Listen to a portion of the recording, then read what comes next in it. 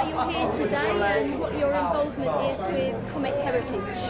Oh, well, I'm here today per personally just to pay tribute to a great guy, a great, great, great comedian. Uh, the late, great Tommy Cooper, um, who was a big influence in my work um, over the years. I was fortunate to uh, belong to that wonderful era of comedy, you know, like Eric and Ernie, uh, Tommy Cooper, and many more.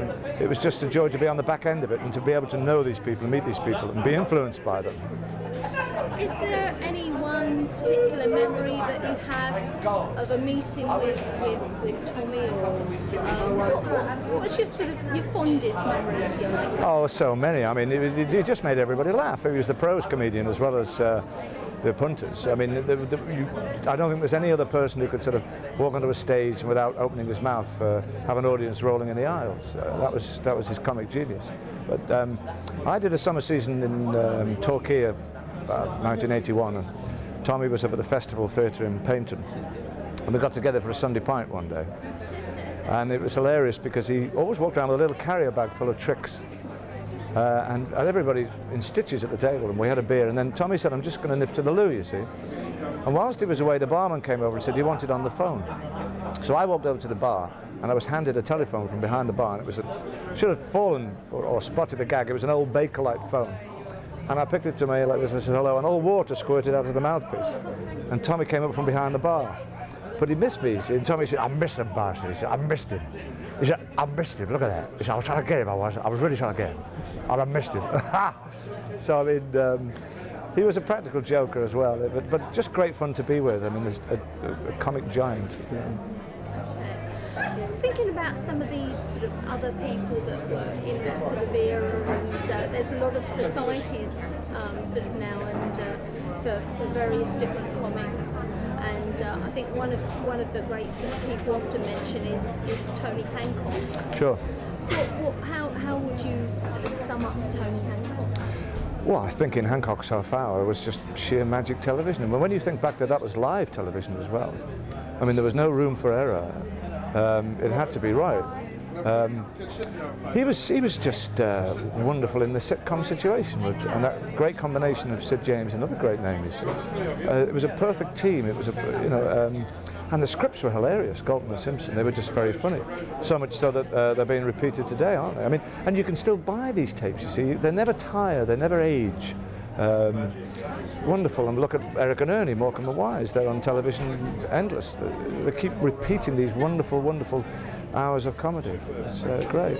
I just hope that this, the up-and-coming stars of the future will look over this work and um, maybe Tommy's work, Tommy's tapes, uh, Morecambe and Wise, and, and try and emulate um, not so much their copy or impersonate, but try and emulate their style of comedy and their style of work because we need, uh, it needs a revival, I think, the comedy of today.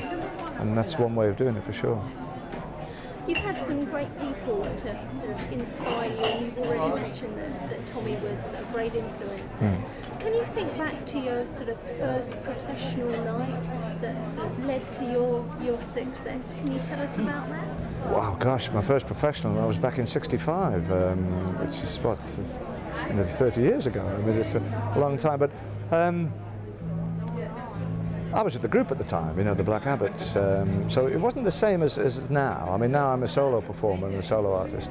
It's different. You know, I had the, the security of the band behind me at the time and I was a drummer. So I never really gave it a lot of thought, the comedy. I was just out to be, you know, a good band drummer and, um, uh, you know, just, just a, a fool with the, with the group, I suppose. Um, I never anticipated that my success would go the way it is. Um, and it just gradually went that way because I was influenced by the people um, as we've talked about, by watching them. Morecambe and Wise, when in 73 I was in the summer season in Clacton and they came to do a Sunday concert and couldn't get a seat for love nor money, so I watched them from back, uh, backstage because they, uh, they were using my dressing room.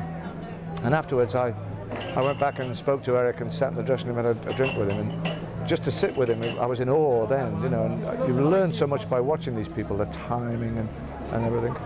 So it's been a, a progression over the years, really, of, of, study. And a long, a long road ahead? I hope so, yeah. I'm uh, currently, uh, well, start rehearsals next week for Fagin yes. in Oliver at the Palladium. Plug. Role. Yeah, it's a great role, yeah. It's a great role. It's, uh, I've always been a fan of Dickens from school days, so I'm so looking forward to uh, putting the old beard and the wig on and Oliver, my boy. That's excellent. Thank you.